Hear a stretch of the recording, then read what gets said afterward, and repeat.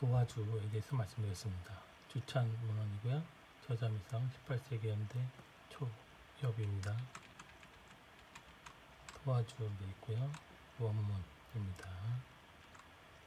번역문입니다. 조리법 밑술빗기 정월 1.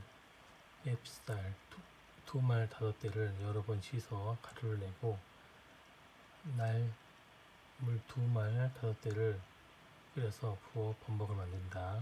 2. 차게 식으면 물가루 한 대와 밀가루 한 대를 섞어 독에 비서 넣는다. 덧술 빗기 복숭아 꽃이 활짝 폈을 때 1.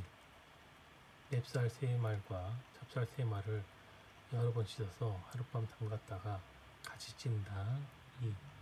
날물 여섯 말을 끓여서 식힌 다음 앞서 빚은 밑술에 같이 섞어서 섞어 빚으며, 빚으며 복숭아꽃 세 냥을 먼저 독 밑에 깔고 술 빚은 것을 담고 그 위에 복숭아 나무 두세 가지를 독 안에 꽂아둔다.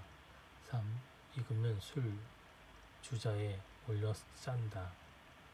쌀이 많을 때는 누룩가루와 물을 그 양에 따라 적당히 조절한다.